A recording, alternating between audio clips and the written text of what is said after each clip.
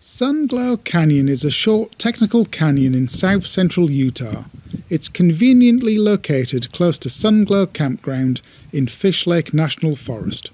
It makes a suitable afternoon or evening objective before settling into camp for the toasting of marshmallows. The nearest town is Bicknell and it's located perfectly for a trip to or from Capitol Reef National Park. Sunglow is a quiet small campground. A couple of sites can be reserved online, while the other four are a first come first served basis. Sunglow Canyon has two forks, west and east. I descended the west fork, which is shorter taking less time. The approach hike takes about an hour, ascending Crescent Creek, the valley to the west. The trail is a bit overgrown going up Crescent Creek. I Guess the wet winter helped everything grow. There's a trail marker. There are nice views from the ridgetop, but there was rain in the air, so I kept moving. I'll follow the trail till I can see the wash and I'm heading in now. I could have gone in a few minutes earlier probably.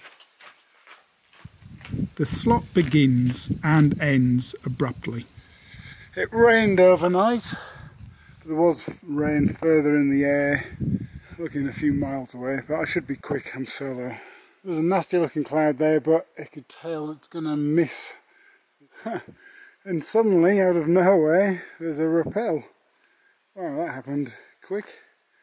Anchors here. The first rappel is just over 10 metres, about 40 feet. On the approach hike, there was clearly rain in the air approaching. Given the slot is short and I was alone, moving quickly and efficiently, I was confident I could travel through the slot before the rain reached. Just rappel, slung boulder, second drop. I hand over handed the second drop, maybe 20 feet.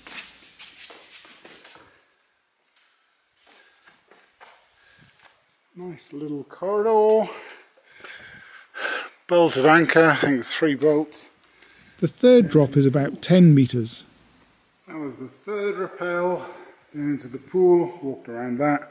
Short corridor, bolted anchor, down to a bit of a pothole with an anchor on the left. Looking back up at the fourth rappel, down into this pool. It was quite slippery to get out of.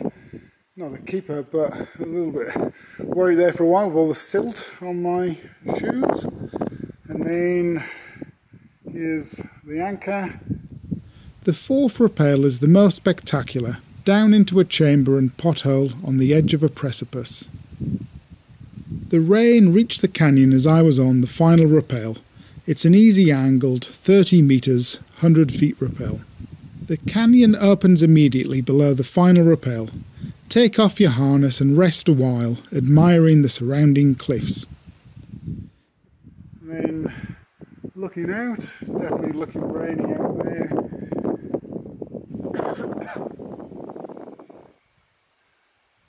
looking back up.